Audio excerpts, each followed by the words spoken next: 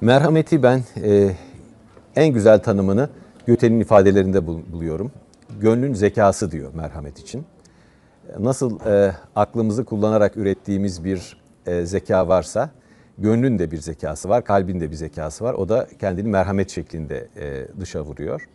Merhamet bir başka tanıma göre dünyanın bütün feryatlarını duyabilmektir. E, inilti halindeki, sıkıntı halindeki insanın varlığın feryadını işitip onu dindirmeye talip olmaktır.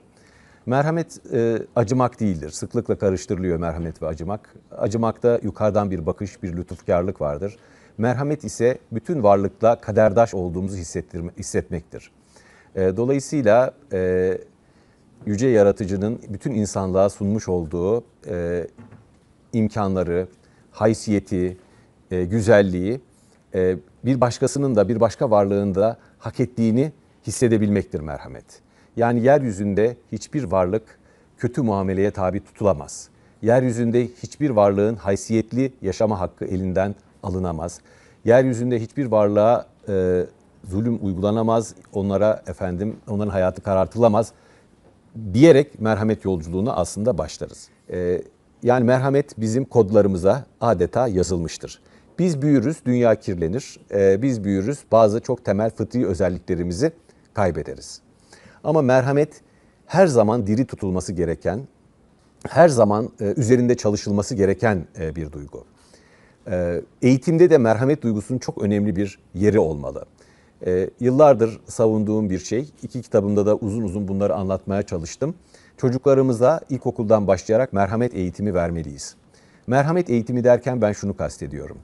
Yani bir bıçağın kanatabileceğini, bir yumruğun can yakabileceğini, kötü bir sözün e, insanları küçük düşürüp onları ciddi psikolojik sorunlara maruz bırakabileceğini çocuklarımıza öğretmeliyiz kötü davranışın başka insanların psikolojisinde çok olumsuz karşılıkları olabileceğini ve kötü davranarak dünyayı daha kötü bir yer kıldığımızı çocuklarımıza e, hatırlatmalıyız. Çocuklarımızı merhametli varlıklar olarak yetiştirmeliyiz.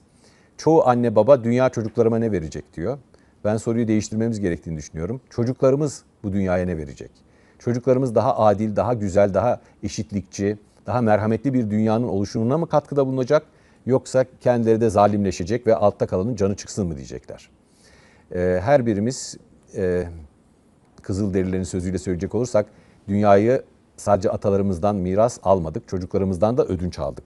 Dolayısıyla çocuklarımıza daha güzel, daha merhametli ve adil bir dünya bırakmaya mecburuz. Onun için şimdi ertelemeden bugün e, merhameti eğitimimizin asli bir unsuru kılmaya, merhameti konuşmaya, merhameti toplumda yaygınlaştırmaya, merhamet projeleri yapmaya, merhametle ilgili projeler yapmaya, e, yardımseverliği, empatiyi e, çok temel, vazgeçilmez bir değer olarak çocuklarımıza benimsetmeye mecburuz. Bir matematik öğretmeni arkadaşım var. O Finlandiyalı bir meslektaşıyla olan sohbetini anlattı bana. O da matematik öğretmeni. Demiş ki siz çok güzel eğitim veriyorsunuz. Okullarınız meşhur. Matematikte şu konuyu öğretmezsek olmaz dediğiniz konu hangisi? Cevap vermiş Finlandiyalı. Ahlak. Yani biz önce bir çocuğa ahlaklı olmayı öğretmek zorundayız. Matematik sonra gelir. Zaten ahlaklı bir insan da matematiği daha güzel öğrenir. Ee, çünkü bilimin de kendince bir ahlakı vardır.